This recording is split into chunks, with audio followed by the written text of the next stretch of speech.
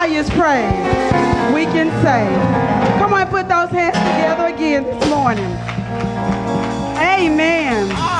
We would like to welcome you to the most exciting church in Johnson County, Cleburne,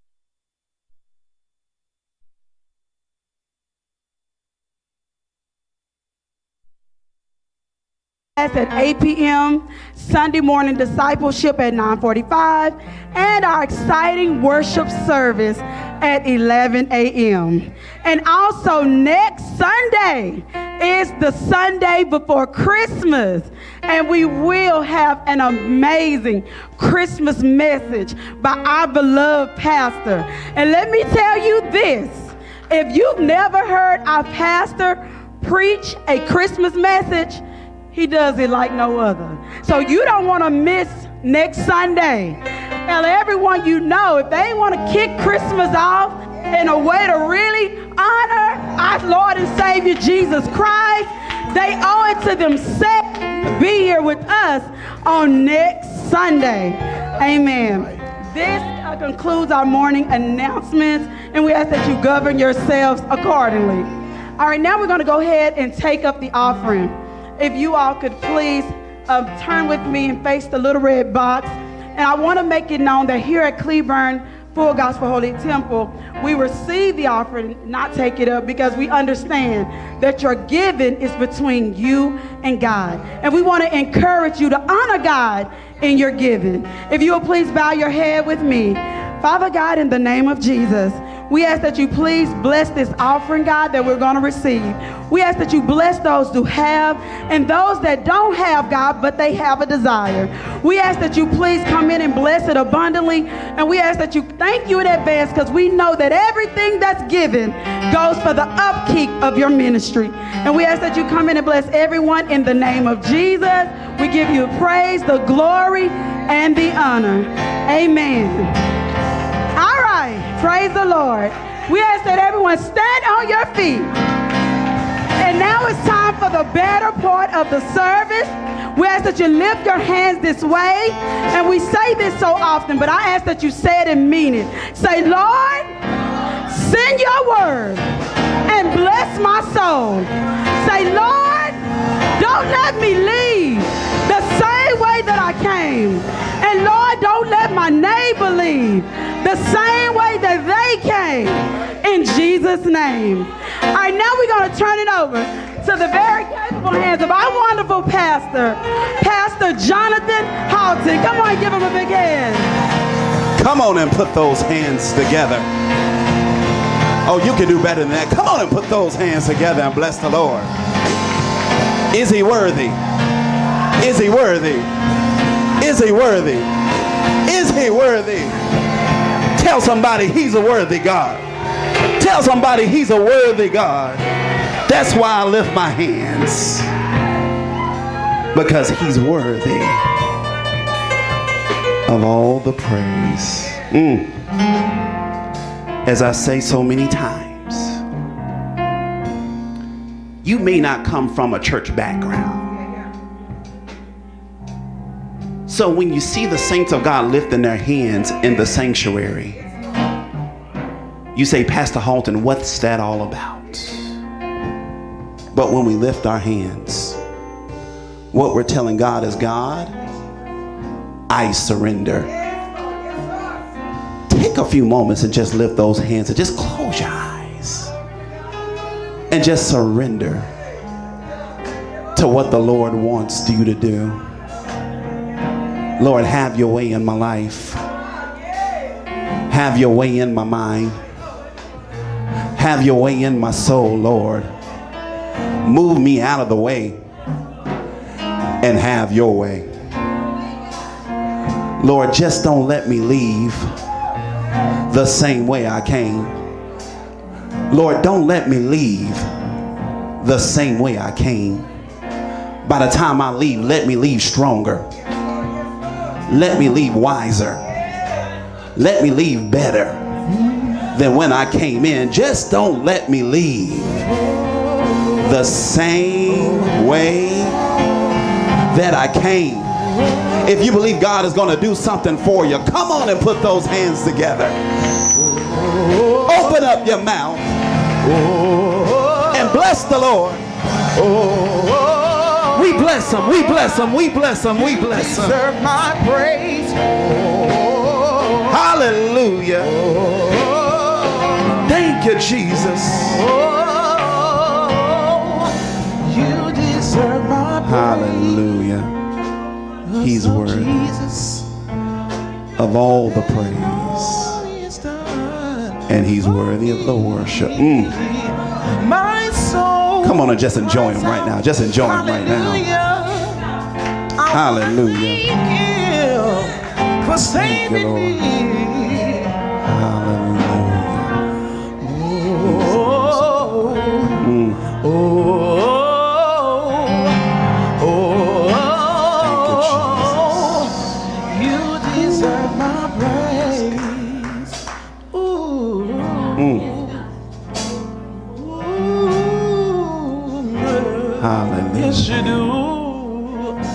I want to formally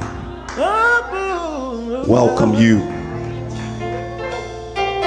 to, in my opinion, the most exciting church in Johnson County, Cleburne Full Gospel Holy Temple. If you're excited, put those hands together and make some noise. You ought to just rear back and shout, Hallelujah! Shout, Hallelujah! Shout, Hallelujah! Shout, Hallelujah! Amen, amen. Certainly, the Lord is doing some great things even in our midst. And I believe that the best is yet to come. You ought to tell somebody the best is yet to come. Amen. God is doing some phenomenal things. Amen. I thank God for each and every one of you being here. Put your hands together for yourselves being here this morning. Amen. Amen. Glad that you're here this morning. I want you to meet me back. Amen. This next Sunday, we're going to preach the Christmas message. Amen. I'm not preaching this morning, but I promise you, I'm going to try my best to preach the paint off the walls next week. Amen. If that's okay. Amen. But we have a very well capable speaker here this morning. Amen. Certainly, certainly so proud of this woman of God. I remember when we were at our old church, you know, she was just sitting there, just not saying nothing to nobody. And I asked her to start giving announcements. Reluctantly, she began doing so. She went from doing announcements to doing Sunday school, went from doing Sunday school to heading up the teaching ministry. I remember when she was ordained, she took her ordination test, scored a perfect score. Amen. Amen. So she knows what she's talking about. She's been a tremendous help and a blessing to the ministry. Amen. Lift those hands toward heaven and just repeat after me. Say, Lord, send your word. Say, Lord, bless my soul. Say, Lord, bless my neighbor So Put your hand on your heart. Say, Lord, don't let me leave the same way I came. Say, Lord, don't let me leave the same way I came. So then faith cometh by hearing. Hearing comes by hearing the word of God. Paul said, How can they hear without a preacher? And we have a woman of God that's ready to deliver the word of God right now. Amen. Let's put those hands together as I introduce the some. Amen. And present the others, the woman of God, evangelist Portia Boone. Let's receive her by the words of amen. Amen. Praise the Lord, everybody. Praise the Lord, everybody. Amen. You can do better than that. I said, Praise the Lord, everybody. God is a good God. God is a faithful God. God is kind. He's merciful. He's a good God. Do you all agree on this morning? We serve an awesome, awesome Savior. And I'm just glad to be saved on this morning. I'm glad to be on the Lord's side. Amen. You all may be seated on this morning. I do give honor to God, who is most definitely the head of my life, and I thank God that I am saved. I thank God that I am filled with the Holy Ghost. And I appreciate God that I have no other mind but to serve and to please God in these last and evil days. Amen. I thank God for our leaders here, Pastor and Evangelist Halton. Let's give them a hand clap on this morning. Amen. I thank God for my family. I thank God for all of you, my church family. And I thank God for those of you that are tuned in on this morning. I am truly excited to be in God's house on today. And it's just, again, it's just a blessing to be here. Amen. Did you all enjoy the series Spiritual Warfare? Amen. Our pastor preached an awesome message. Amen. Amen. Well, let me just hurry right along and get into our message on this morning. How many of you enjoy playing games? And when I say games, it could be video games, it could be board games. Um, some of you like sports or whatever the game is, you enjoy playing games. Well, how many of you are familiar with any of these games? Here's one Pac Man. Do we have any Pac Man lovers on this morning? Amen. I went way back. Amen. What about this one here? The Super Mario Brothers. Now that one was one of my favorite, y'all. I, I really enjoyed the Super Mario Brothers. And then how many Uno lovers do we have in the house on this morning? Now it is it's a crime and a shame, but I'm gonna go ahead and confess it. I don't think I still know how to play Uno right, y'all. So I need those of you that are experts here to teach me how to play Uno. Amen. Now you all, this game right here, on game day, our pastor was trying to get some people's attention. And let me tell you something. They were caught up in this game right here. Let me tell y'all something. He was trying to pray over the food. The man of God couldn't even get the prayer out because the people at the back table slamming those dominoes. How many domino lovers do we have on this morning? Amen. And now my two favorite games are Connect Four and Checkers.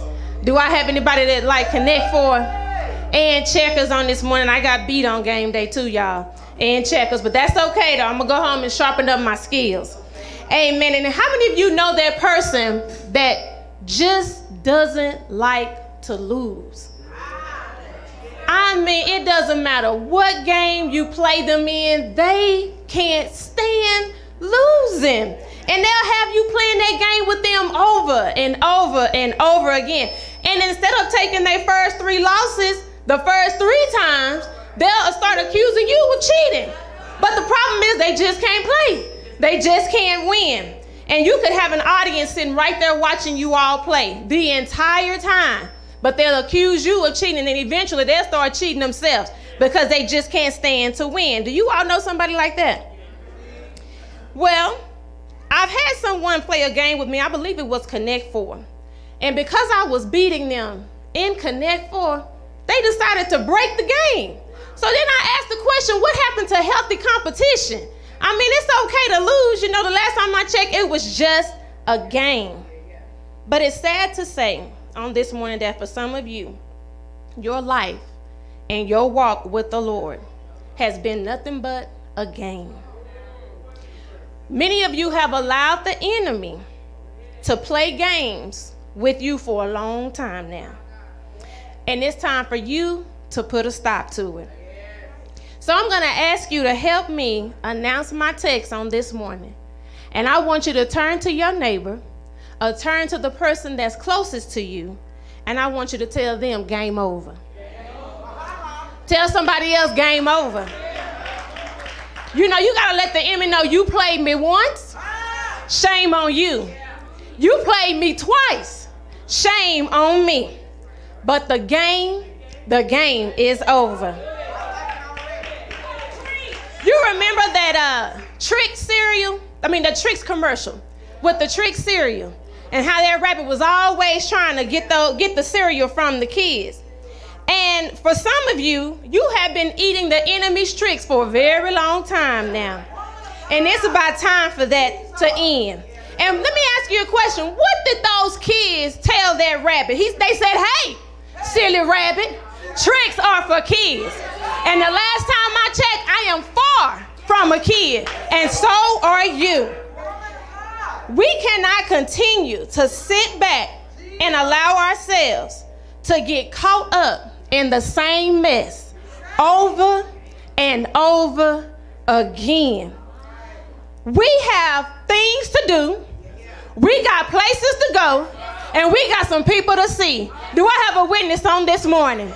So it's time for us to stop allowing the enemy to play games with us. You better tell the enemy those games you've been playing with me, you better go and play them with somebody else because I'm not the one. So starting today and starting right now, tell your neighbor again, the game is over. So you may be wondering, Sister Boone, what games are you talking about? Well, let me go ahead and bring some awareness to you on this morning. Because the Bible tells us in 2 Corinthians 2 and 11, lest Satan should get an advantage of us. For we are not ignorant of Satan's devices. What does that really mean? It shouldn't be that we are outsmarted by the enemy because you know why? We should be familiar with his evil schemes. They used to tell me you need to take those rose petal glasses off and see things for what they really are. You need to see things for how they really are. Tell somebody game over. So then you may be wondering, well, what games are you talking about? Let's go to this first game game of shame. There are some of you that have made some mistakes, and you, as well as people, refuse to allow yourself to move on from those mistakes. You want to allow yourself to move past them. People won't allow you to move past them because it's that mistake. The enemy continues to allow that thing to just weigh over you. Some of you, you have sincerely and you have genuinely felt like you've embarrassed. You're embarrassed about the life that you once lived. You found yourself in a situation within the past three years, but you know what? You've repented of it. And God has forgiven you, and He's thrown that thing in the sea of forgiveness. But the problem is, like I told you before, you won't forgive yourself, and people keep holding it up against you. You have attempted to conceal some things, but several people, they know your business. Don't allow those mistakes or those setbacks to stunt your progression in life. Don't allow, don't allow those mistakes and those, those things to stunt your growth and your walk with the Lord. Instead of allowing it to stunt your growth and your walk with the Lord, allow it to propel you in that next level in God. Some of you may be wondering, you're having a hard time trying to live a holy life. Let me make it simple for you. A holy life is a clean life. A holy life is a pure life. And you can live a clean and a holy life. And a successful life too. But we got to understand that we cannot live two and three days at a time. We got to take one day at a time. You can only live holy one day at a time. You can only live a clean life one day at a time. So take your time and live a clean life before the Lord. And I want to tell you on, the, on this morning, this is the best life that you would ever live. I'm so glad that God chose me. Let me tell you something. As Sister Lewis say often, I don't take nothing from my journey. I appreciate God for the life that He's allowed me to live. So don't let the enemy play with your mind and don't let him play with your heart. It's a reason why you keep coming to the house of God.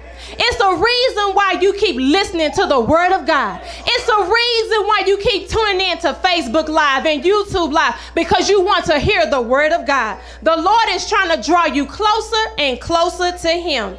The Bible lets us know where it says in Jeremiah 31 and 3 The Lord hath appeared of old unto me, saying, Yea, I have loved thee with an everlasting love.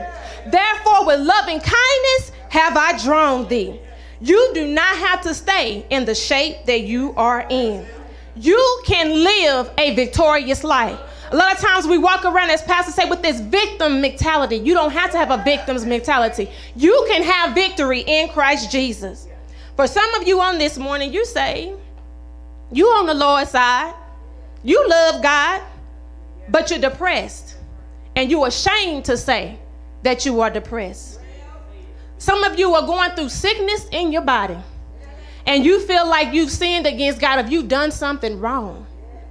You're saved, but you're hurting. People can't see the hurt that you're dealing with, but you're hurting on the inside. Some of you are saved, but you are discouraged. It doesn't matter what anybody says to you to try to encourage you or push you along, but you are discouraged. You're afraid to talk to people about your discouragement. Some of you on this morning, you're going through emotionally, you're going through mentally, psychologically, and you are experiencing some physical pain on this morning. The enemy has you bound. But I want you to know that it is not the will of God for you to live like that for the rest of your life.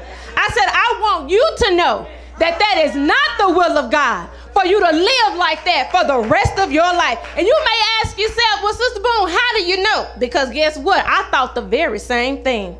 But I appreciate God for his word on this morning. I am so glad that God keeps his promises. And 3 John 2, it says, Beloved, I wish above all things that thou mayest prosper and be in health. And I'm going to stop right there. When he talks about health, when I'm thinking about health, I'm thinking about my mental health. I'm thinking about my emotional health. I'm thinking about my physical health. He wishes above all things that I may prosper and be in health, that you may prosper and be in health, even as your soul prospers. You can have health in every area and in every aspect of your life. Now, I was going through a trial. You know how sometimes we telling people our testimony? And we say, Oh, I was going through. But God just dropped something in my mind. Don't just say you going through. But I found that I wasn't just going through, y'all. I was growing through. I was growing through those trials. I was growing through those situations. I was growing through those circumstances. I wasn't just going through, but I was growing through. So as I was growing through, you all, this one trial, I literally felt like that I was in a daze every single day. I'm talking about the game of shame. I felt like my mind was heavy, that I couldn't think clearly. I remember calling a coworker and I was telling her, you know, it's a blessing to be connected to people that's connected to God. And I thank God for people that you can be real with and they won't judge you. So I began to tell her, I said, I feel like I can't even think right. I feel like every day that I get up, that I'm going to work. I'm just going. Have you ever been there when you're going to work? You don't even know how you got there because your mind is so heavy. But it felt like I was going through a daze every single day. The enemy told me that I was damaged goods. And from that point on, I thought very low of myself. Some of you on this morning, you think very low of yourself as well. You may not have told anybody, but God sees you and He knows you. So I thought very low of myself. And I was thinking of every reason why what the enemy said could be true. Am I a failure? Where did I go wrong? Where did I mess up? People look at you sometimes and they assume that you are one of the most confident people that's walking the face of the earth. They don't know how hard you are fighting within to maintain your salvation. They don't realize how hard you are fighting on the inside to maintain your sanity. They don't know how hard you are fighting on the inside to maintain your integrity. They don't understand how hard you are fighting to maintain your character. I'm talking about the game of shame, you all. You feel like a failure. You feel like you reached your highest peak in ministry. You feel like you reached your highest peak in life, and you feel like there is nothing else for you to do. You are ashamed of where you have been. You are ashamed of where you have come from. You are ashamed of where you are right now. Tell somebody the game of shame. You are ashamed of the things that you had to experience in life. As a matter of fact, some of you are ashamed of where you are right now. But let me tell you how you're going to make it out. You are going to hold on to God. You are going to fight the good fight of faith. You are going to lay hold to eternal life. You are going to stay faithful to God. You're going to stay faithful to the house of God. You're going to stay faithful to the word of God. And you're going to stay faithful to the work of God. Somebody say, game of shame. The Bible says in St. Luke 10 and 18, and he said unto them, I beheld Satan as lightning fall from heaven, and behold, I give unto you power to tread on serpents and scorpions, and over all the power of the enemy. I said, over all the power of the enemy, and thereby means there's nothing, there is nothing that can hurt you. Let me say it again. Behold, I give unto you power. You gotta talk to yourself sometime when you quoting the word of God. Behold, he gave unto me power to tread over serpents and scorpions and over all the power of the enemy, and nothing. Tell somebody, say nothing. And nothing shall by any means hurt you. Can I get a witness on this morning? Somebody shout game over. That was the game of shame. Now we're going to talk about the game of pain. Somebody say game of pain. Some of you have allowed people to define you. They have defined your personality. They've defined your character, your attitude, even your physical appearance. Try to tell you how you look. Try to tell you how you are. What if they told you, oh, you selfish? You mean spirited? You are disconnected? You know what? You're not tall enough. You're not short enough. As a matter of fact, your hair is not straight enough. It's too curly. Or your hair is too curly and it's not straight enough. I'm talking about people that try to define who you are. And sometimes people may not always say it. Sometimes they may just look at you a certain way. So it's not always about what people say because some people can make you feel a certain way without saying a thing. And what happens is that eternal pain begins to develop. And when that internal pain begins to develop, you find yourself making adjustments to yourself based upon what somebody else has said. And you know why you do it? Because you're trying to prove that what they have said about you is inaccurate. Well, let me tell you something on this morning. When they said it the first time, it was inaccurate. You don't have to change yourself. You are who God has called you to be. You are who God has created you to be. You are who God has made you to be. Don't you be ashamed of how you look. Don't you be ashamed of the man of God you are. Don't you be ashamed of the wonderful woman of God that you are. You are beautifully and you are wonderfully made. You are fearfully and you are wonderfully made. The enemy has used people to say things that were intentionally meant to crush you, to destroy your confidence in God, and to destroy your confidence in yourself. You know, sometimes people, like I said, they will say things and they wanted to just pierce just right through you. Your parents treated you that way because they didn't want you in the first place. I'm telling the truth on this morning. We got to be careful of what you say to one another. And you got to be careful of what you say to children. Because I want to tell you on this morning, they don't forget. The only reason why you in that person's life is because of what you can do for them. They don't want you. They don't need you. They only want what you can offer. And when they're done with you, they send you right on. Some people have told you you're nothing and you will never be anything. They don't love you, they just tolerate you. They don't love you, they just love what you can do for them.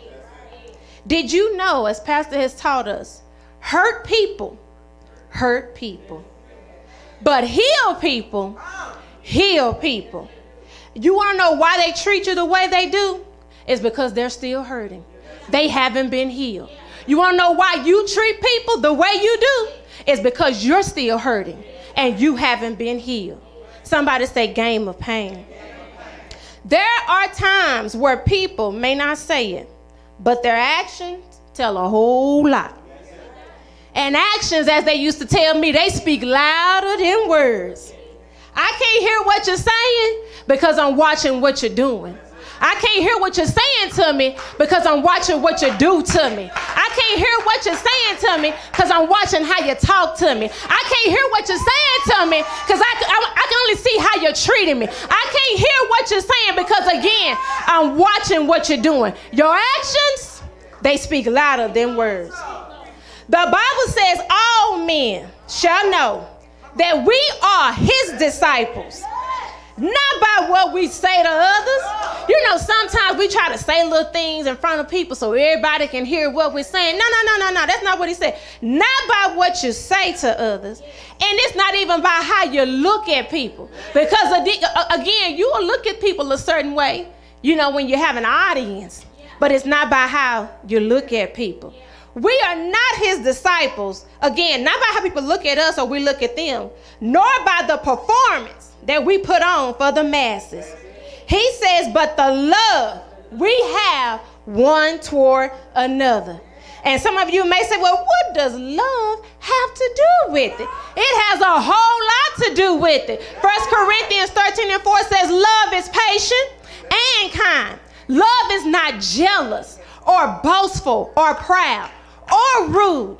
It does not demand its own way. It is not irritable and it keeps no record of wrongdoing. It does not rejoice about injustice, but rejoices whenever their truth wins out. Love never gives up. Love never loses faith. It's always hopeful and endures through every circumstance.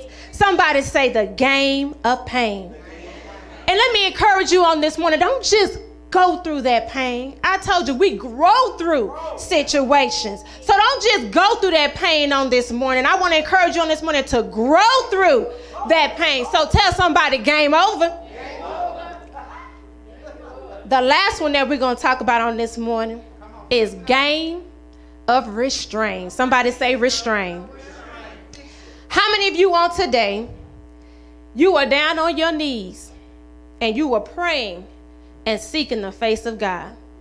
But the enemy is telling you, you're done. It's over for you. You've been down there praying and seeking God for a long time. Why don't you get up from there? God is not listening to you. He's not hearing anything that you're saying. If we would just admit it to ourselves, we've been there where you are going through some heavy things. You're trying to go forward in God. You want more in God. Not even just that, you want better in life. You want to progress in life. But you're on your knees and you're praying and you're seeking the face of God. But it feels like you cannot get in touch with God. Do I have a witness on this morning? You feel like God isn't hearing what you're saying. You may as well stop. You may as well give up. You might as well walk away. How much longer are you going to keep praying for and about that loved one? How much longer are you going to continue to pray about that situation and that circumstance? How long are you going to continue to pray about that healing that you've been believing God to do in your body? And instead of you getting better, you continue to grow worse. How long are you going to continue to pray about the work of God? You know what God laid on your heart to do. You know what He put on your heart to do to build His kingdom. You know what it's going to take for you to win those lost souls out there. But you feel like God is not hearing me. How long are you going to continue to pray about your next step in life? You know God doesn't want you where you are. You've been there too long. He's been pushing and nudging, trying to get you to move forward. Some of you are in church, but your mind is so heavy that you can't even focus. The word of God is going forth, but you can't focus. Praise and worship is going on, but you can't get in touch with God. The word of God is going forth, but you feel like you can't even get your breakthrough. You're not focused. Your mind is heavy. That hurt continues to weigh heavily upon you. The enemy is telling you that the Lord, He's no longer with you. Well, let me tell you something on this morning. If He's telling you that the Lord is no longer with you, that's a good sign that the Lord is still with you. But you don't feel that way, and it doesn't seem like that. So He's telling you the Lord is no longer with you. But you haven't sinned against God. And guess what? And if you did do something wrong, you obeyed the scripture and you repented quickly.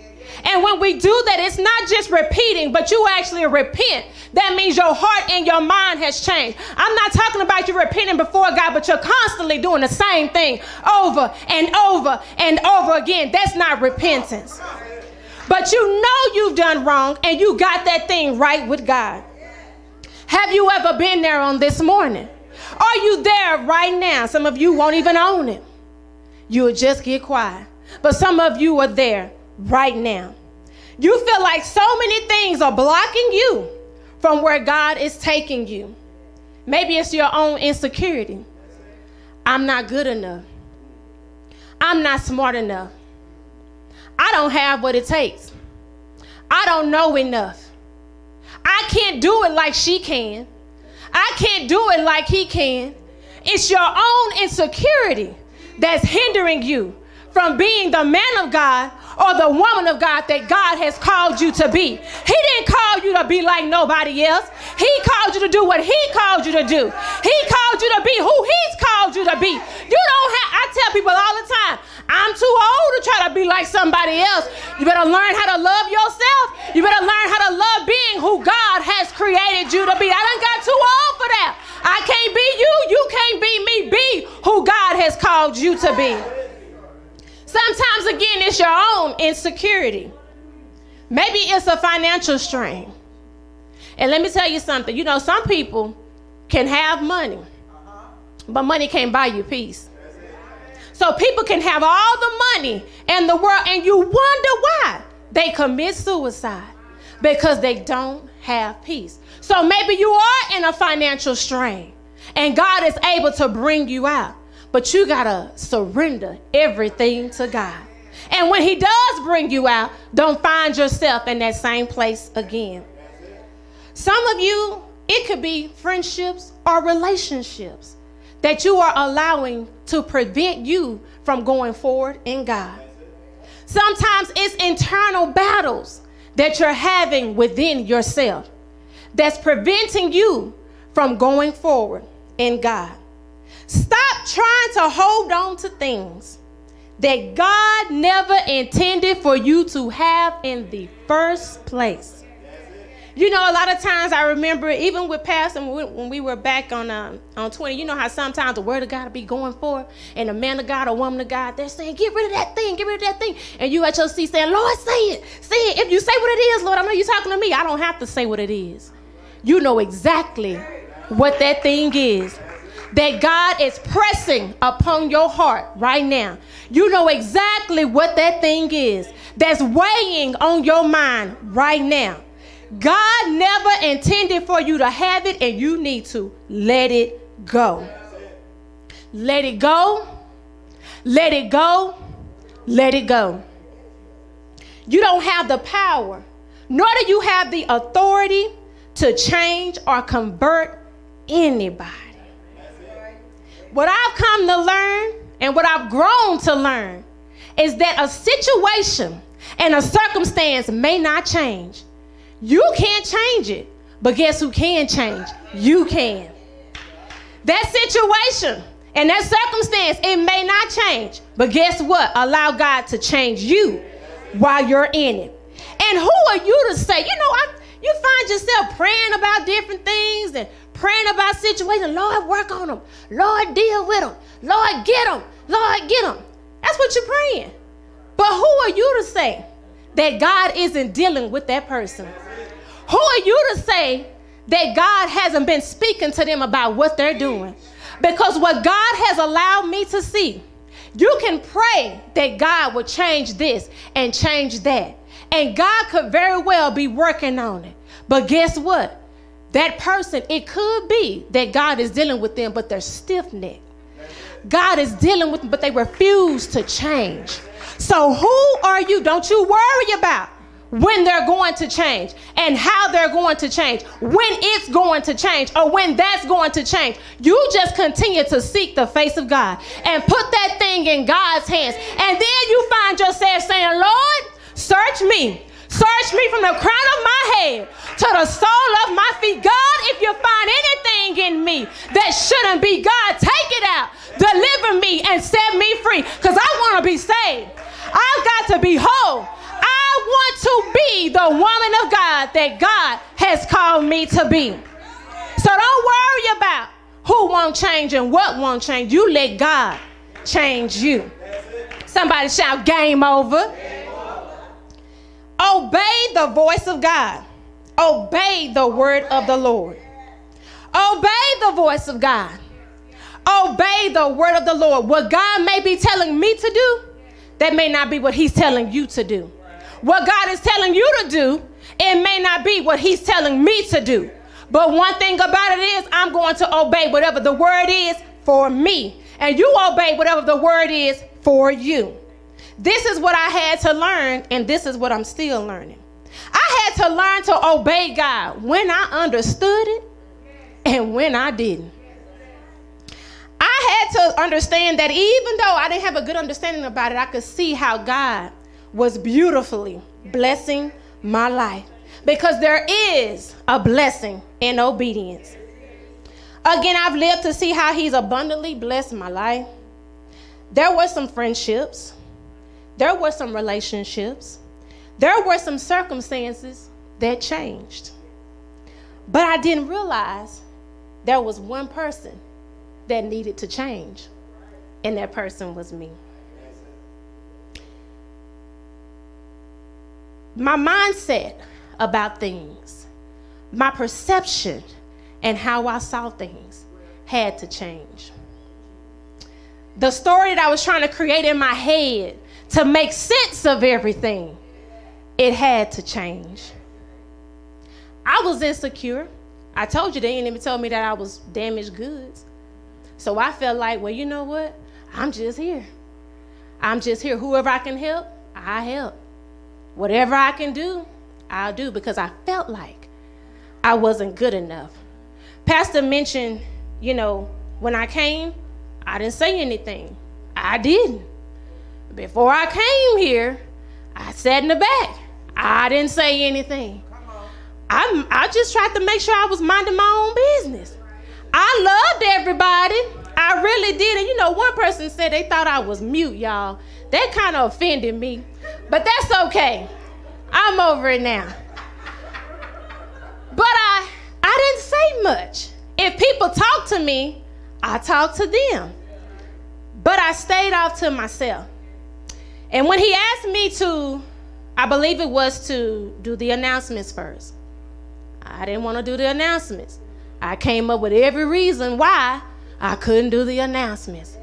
I'm nervous. Well, you teach kids? Absolutely. I teach children. I don't teach adults. So I was nervous about getting up in front of adults. So I made an excuse of why I couldn't do that. Then he asked me to teach Sunday school.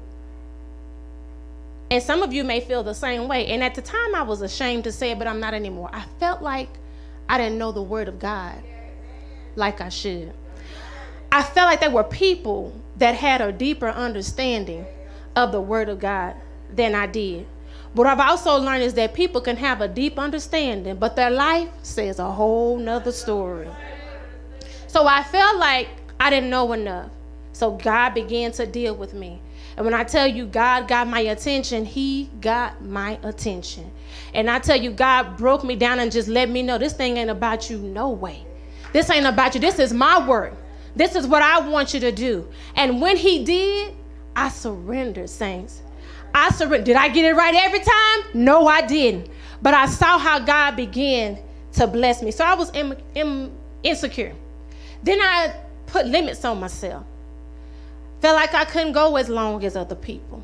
I couldn't handle it the way other people could. I couldn't do it. I couldn't say it the way that they could. I felt inadequate. I felt like I didn't have everything that it took to be who God wanted me to be. I'm telling you this morning, the game, it was over.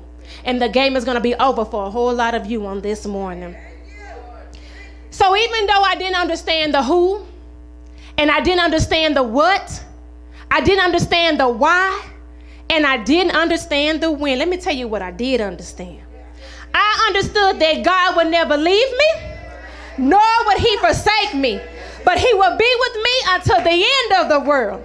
I understood that if I would be willing and obedient, that I was going to eat the good of the land.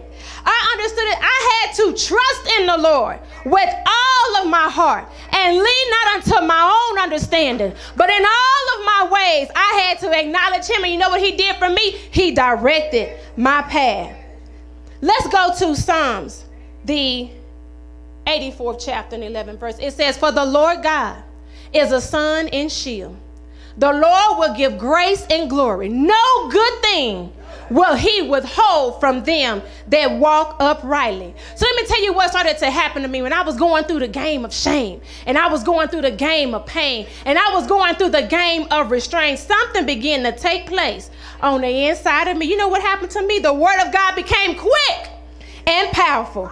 It was sharper than any two-edged sword. It was piercing even to dividing asunder of my soul and my spirit and my joints and marrow. And it was a discerner of my thoughts and the intents of my heart. So no matter what the enemy is saying to you on this morning, it's in him that you live. It's in him that you move. It's in him that you have your being. Without God, you are nothing. You cannot do anything with the Lord without the Lord. But with Christ, you can do all things. Somebody say game over. I prayed a prayer recently. It was just really on my heart. I began to just think about how long I've been saved. I began to just reflect on everything that I've experienced in my life the good, the bad, and the ugly. And I prayed this prayer and I said, Lord, help me not to ever lose a hunger nor a thirst for you. Help me to stay passionate about reading and studying your word. Help me to keep a desire to come to the house of God and not just be in the house of God, but to be present, to be focused, to be engaged, and to be actively, effectively active in the house of God. A lot of times we come here and we're just here. We're just here. We're functioning, but we're just here. Where our mind really isn't there. We're really not engaged in what God wants us to do in His house. So I ask God, don't let me lose the zeal and the passion that I have for the things of you, Lord. Don't let me lose the zeal and the passion that I have for the work of God, for the people of God, for the ministry, whatever it is that you placed in my life. I don't want to lose the passion and I don't want to lose the zeal. I don't want to ever make his kingdom or his work about me. This thing ain't about me. This thing is about God. He's to get all the glory. He's to get all the honor. It ain't about you. It ain't about me. Souls gotta be saved. Sick bodies gotta be healed. Troubled minds gotta be regulated. This thing ain't about you. It's about the Lord. So I ask God, don't allow me to make the kingdom about me. Don't allow me to make your work about me because you know what? You don't have to use me. You can use anybody else that you choose to use. So, God, help me not to ever make this thing about me. I don't want to take anything that God has done for me for granted. I don't want to take the people of God that God has placed in my life for granted. I don't want to take the things of God that God has given me for granted. I don't want to take the blessings of God that God has given me for granted. Don't let me make this thing about me. For many of you, you have allowed yourself to be played long enough. This morning, you need to tell yourself and tell the enemy, game over. I'm not going out like this. I'm not listening to any more of your lies.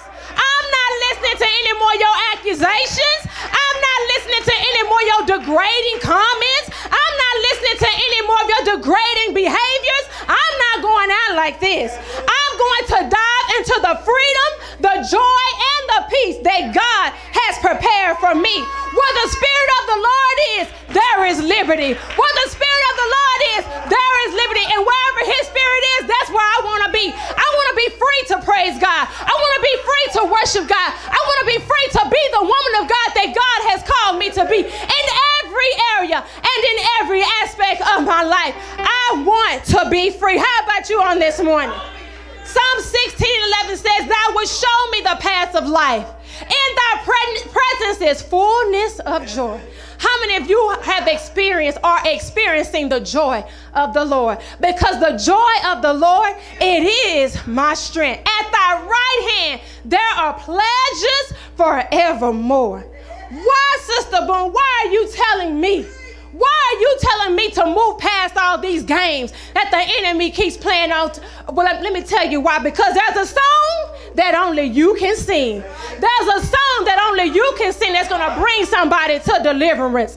There is a lesson that only you will teach, Sister Lewis, that is going to bring clarity to a troubled mind. There's a testimony that only you can give, Sister Demona, that's going to encourage somebody to hold on to the promises of God. There is a message that only you can preach that will bring someone to salvation. So again, why must I hold on? Because God has a work for you to do. And only you are the one that's going to be able to do it. So we can allow the enemy to continue to trip us up with the same things over and over and over again. It has to stop somewhere. It has to stop at some time. My question to you is when? When are you going to completely and totally surrender to God so that God can do what He wants to do with your life? The decisions that I've had to make, the decisions that some of you may have to make on today, if you're serious about it, and those decisions that you have to make on today, it cost me some sleepless nights. It's gonna cost you some sleepless nights. It cost me some time. It's gonna cost you some time. It cost me some frustrations. It's gonna cost you some frustrations. It cost me some headaches, and I mean literally, and it's gonna cost you some headaches. It cost me some money, and it's gonna cost you some money. But what God has in store for you will never, it will be incomparable of how God is going to bless your life, both naturally and spiritually. I said there is no comparison of what God is going to do in your life. Yeah, you may lose those sleepless nights. Yes, you may lose that time. And yes, you may lose that money. But when I tell you all things, work together for the good of them that love God and who are the called according to his purpose. Don't you worry about how long it's going to take. Don't worry about when God is going to do it, how God is going to do it, who God is going to use to do it. Joel 2 and 25 says, And I will restore to you the years that the locust hath eaten the cankerworm and the caterpillar and the palmer worm, my great army which I sent among you, and ye shall eat in plenty and be satisfied and praise the name of the Lord your God that hath dealt wondrously with you. And my people shall never be ashamed. I said, My people. He says, His people shall never be ashamed. That's why the enemy doesn't want you to tap into what God wants you to do. That's why he wants you to lose. That's why he doesn't want to turn you a loose.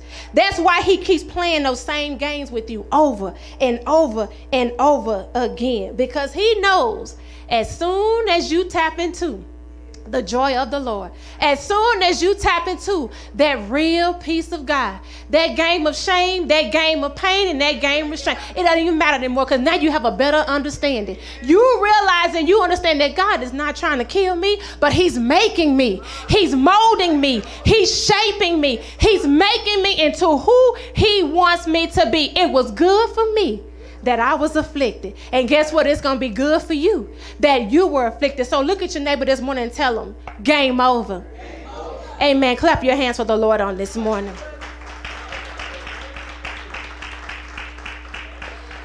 Amen. This is all that I have for you on this morning. And I'm going to ask that you will rest upon your feet.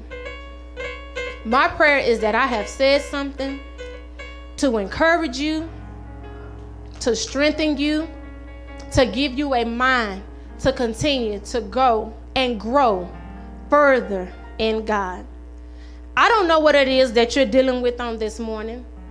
You don't have to tell me. But one thing that I can do is I can pray. I can pray with you. I can pray for you. But again, you know what it is. And you know, it's something how when God is dealing with us about things, we are willing to let go of everything else but that one thing. We try to pretend like we don't hear God speaking. We try to pretend like God isn't really just pressing it upon you and laying it upon your heart. We try to act like we don't know what God is talking about. But you know exactly what that thing is. And like I told you before, I don't have to I don't have to say it. Let me just go ahead and say this. The Lord ain't told me. It's not for me to know, but you know. You know. And if you really want to move forward in God, whatever it is, let it go. And I'm not just telling you something that I've heard, but I'm telling you something that I have experienced. Did I want to let go? Nope. Did I want to move on? Nope. Did I want to give up? Nope. But it was there. It was there constantly. Weighing and pressing and weighing and pressing. I wasn't waiting for somebody to call my name out and prophesy and thus said the Lord. Nope. Because I knew what God was dealing with me about. Yeah, it hurt. Yes, it's tough. But God will bring you through it. And you just have to trust Him. He knows what He's doing, He knows where He's taking you. He knows why, but you got to trust Him. Stop allowing the enemy to play games with you. And here's the thing these aren't new, this is the same stuff over and over and over. You know you shouldn't be where you are right now. 12 months goes by so fast. Five years, 10 years, that time it gets away from us. But then you look up and you see yourself in that same place over and over again. Game over. So I'm going to ask you on this morning to get your mind and your heart on the Lord. And whatever it is that God has laid on your heart, whatever it is that He's dealing with you about, I'm going to ask you, I'm going to challenge you to surrender that thing to Him on this morning. Surrender it completely and totally. And I promise you, when you do, see how God blesses your life. Father God, in the name of Jesus, God, I'm asking you, Lord, that you will look down upon your people on this morning. God, you see and you know exactly what they're dealing with, what they're battling with. And God, for some of them, it's hard to let go. It's hard to move on, but God, they can do all things through Christ that strengthens them. God, I'm asking that you would give them the strength to say no to it and say yes to you, to surrender it all, God. Give them the strength, lead them, guide them, direct them. God, look down upon those that are not saved on this morning. God, I'm asking you, Lord, that you would give them a mind to completely and totally surrender to you. Whoever you are on this morning, if you're not saved, you'll just repeat these words, but just mean them from your heart and ask the Lord, Lord, tell him I'm sorry for everything that I've said, for everything that I've done that was not like you. God, I'm asking that you would save me, deliver me, and set me free. Let him know that you want to live the life that's pleasing to him, but you need power. Ask God to fill you with his Holy Ghost. Give you a mind to completely and totally surrender to him and to live for him for the rest of your days. In Jesus' name. God, and we thank you And we appreciate you for it right now. Let's give God a hand clap on this morning.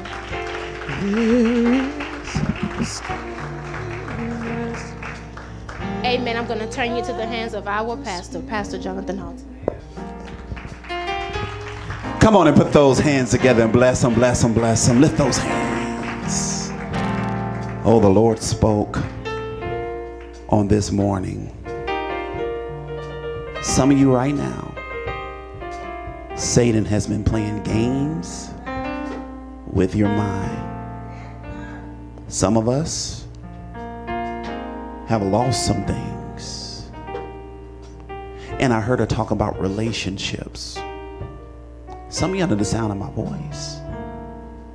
The relationship that you have with yourself is one of the biggest things that need to change that mindset, that narrative that you've created, that perspective. Paul said, I'm forgetting those things which are behind, and I press toward the mark of the high calling of Christ Jesus. Wednesday night, I preached a message entitled, I've Learned My Lesson. And some of you, you don't need to take the baggage of 2021 into 2022. Like the woman of God said this morning, you need to make a decision that I'm going to give God a yes. If you're here this morning, and you say, Pastor Halton, whatever that is that God is tugging on me, I'm ready to surrender it. If that's you, this is what I want you to do. I want to pray for you. I want to give you ministry. I want to give you the strength. I want to pray that you got to give you the strength to do whatever it is that He's calling you to do. So if you're here this morning and you need prayer for anything, I want you to come. I want you to come. I want you to come. I want you to come. I want you to come. That's it. That's it. That's it. That's it. That's it. That's it. Come, come, come, come. You say, I want to leave it at the altar right now. I want to leave it at the altar right now. That's it. That's it. That's it. Some of you say, Pastor Halton, I've been struggling with sickness all year. I don't want to carry this into 2022. I've been struggling going through in my mind and in my emotion and in my spirit. I don't want to bring this into 2022. If that's you, Come on, come on, come, come, come, come, come, come, come. Lift those hands, lift those hands, lift those hands, lift those hands. Hallelujah. Thank you, Jesus. Thank you, Lord. Hallelujah. We're going to pray right now. The woman of God preached the word, and God's going to seal it right now. In the name of Jesus, do it now. In Jesus' name, lay your hand on him, God. Oh God, we give you a yes right now. In Jesus' name. Do it, God. Do it, God. That's it. That's it. Do it right now, God. In the name of Jesus. Lay your hand on them, God. Lord, I agree right now by the power of the Holy Ghost. Do it, God. In Jesus. Uh, hallelujah, God. Speak. Do it right now in Jesus' name. Oh, God, touch it right now. In Jesus, name. that's it. Oh, from the crown of her head to the sole of her feet, do it now, God. In the name of Jesus. Thank you, Lord. Come on, give him a yes. Give him a yes. Give him a yes. Give him a yes. Give him a yes. Give him a yes. Give him a yes. Yes to your will. Yes to your way. God, I surrender everything. Have your way. Hallelujah. Thank you, Jesus. Do it right now. Do it right now. In the name of Jesus. Are there those of you that are here? Just lift your hands and say, Lord, I surrender. I surrender. Lord, I surrender. I'll do it, God. I'll go where you want me to go. I'll be what you want me to be. I'll do what you want me to do.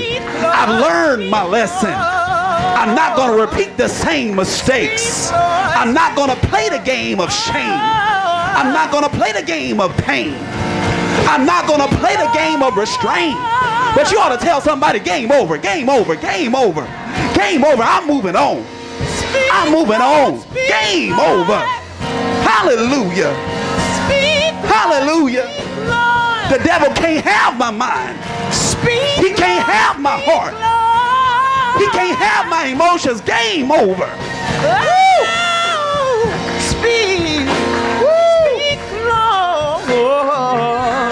Have been what I did, but that's not who I am. Somebody shout game over. Somebody shout game over. Somebody shout game over.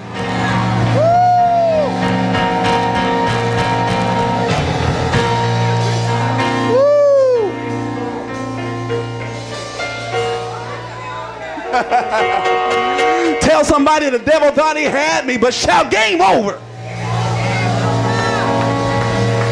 The devil thought it was over, but somebody shout game over.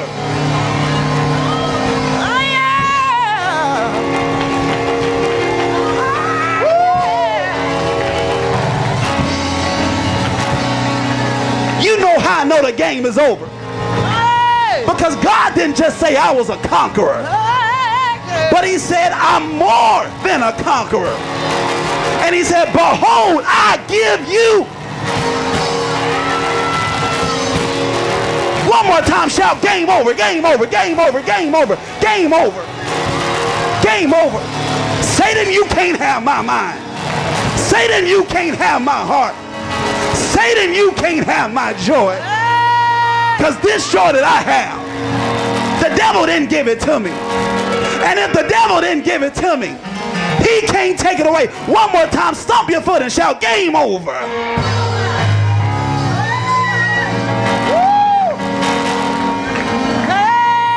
Oh, Lord.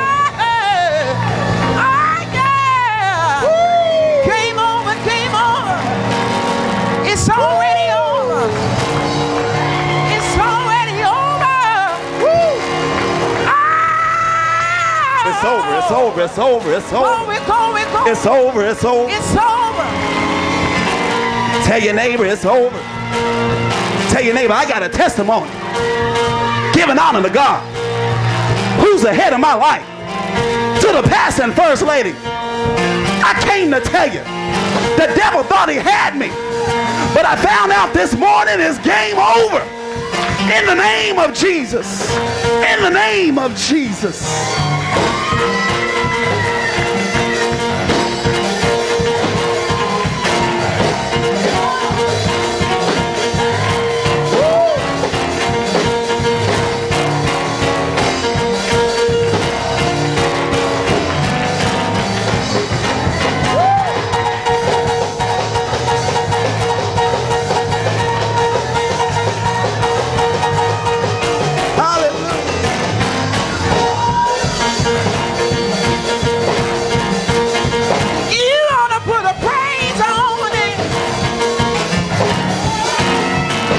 Got a Gonna feeling Put a praise on it. everything is to be all right. Gonna put a praise on it. Woo! Hey,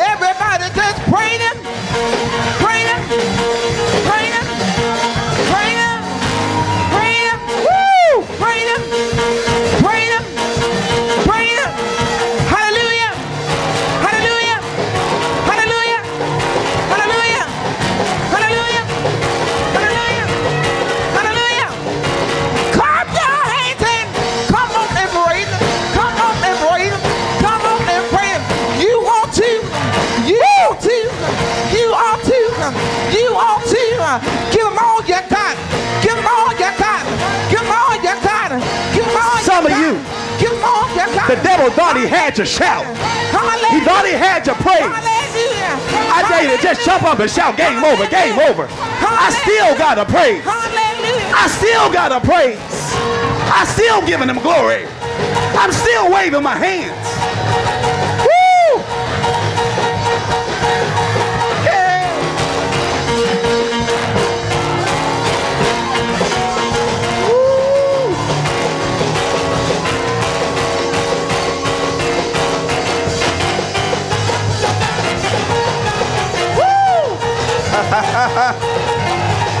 yes, Lord.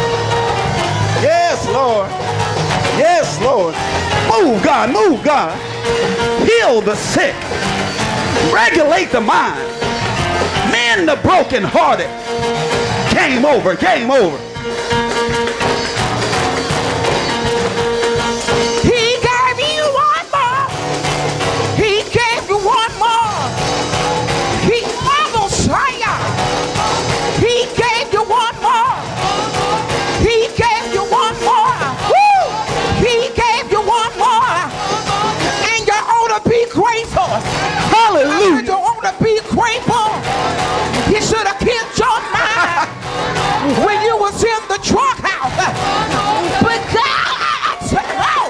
Somebody ought to give him glory. I did it.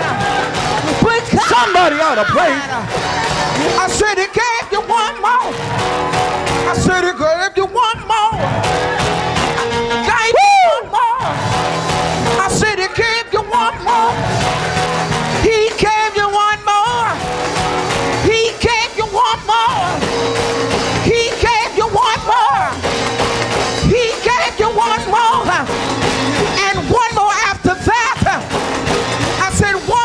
Let him bless you. Let him bless you. I said, Let 'em touch it, let 'em touch. You got it. Let me see you wave your hand. If you got it, let me see you wave your hand. Say, I got it.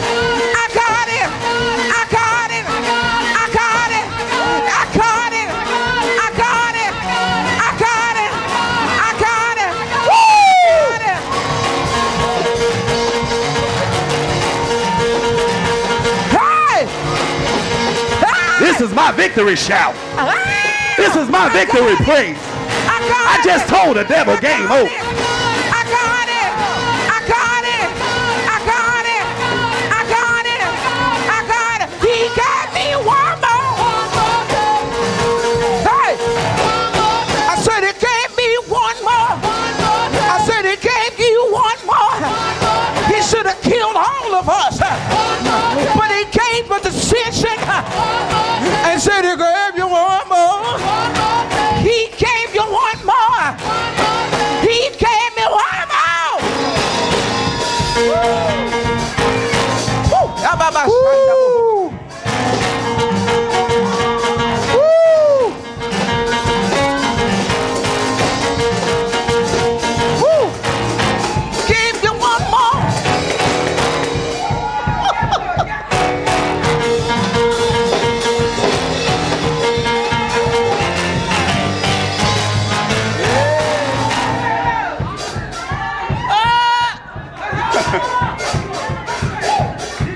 me a favor, do me a favor, do me a favor, do me a favor, do me a favor.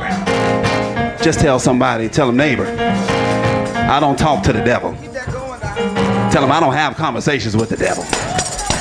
But tell them just in case you talk to him, send him this message. Tell the devil game over. tell him game over. Tell him game over.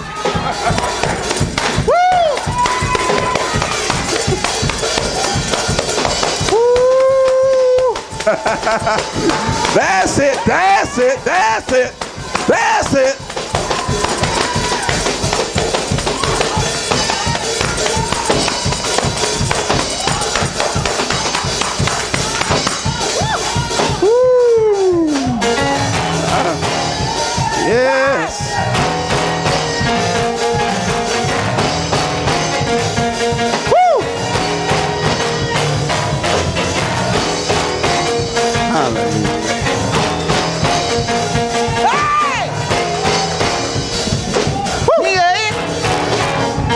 Hallelujah.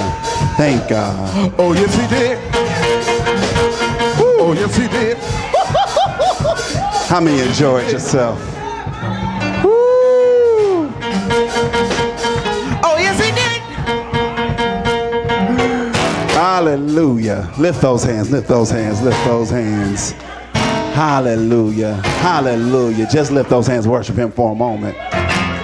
Found out this morning the game is over. Woo. Woo. Woo. Hallelujah.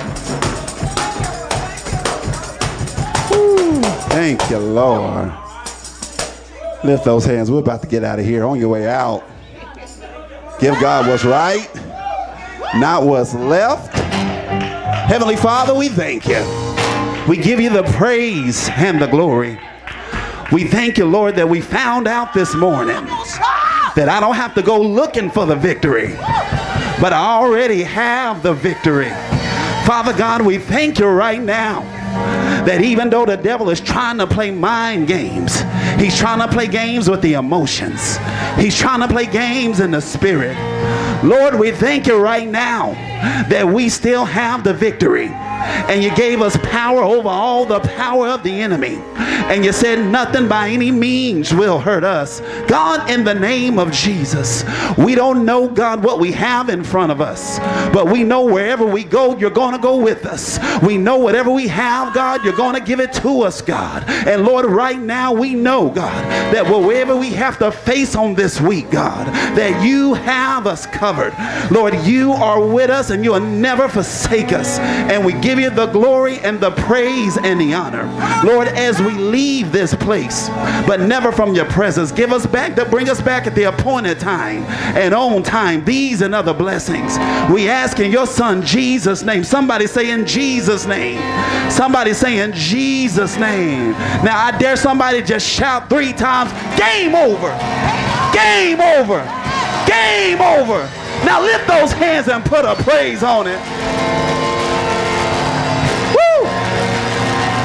Hallelujah. God bless you. Thank you, Jesus.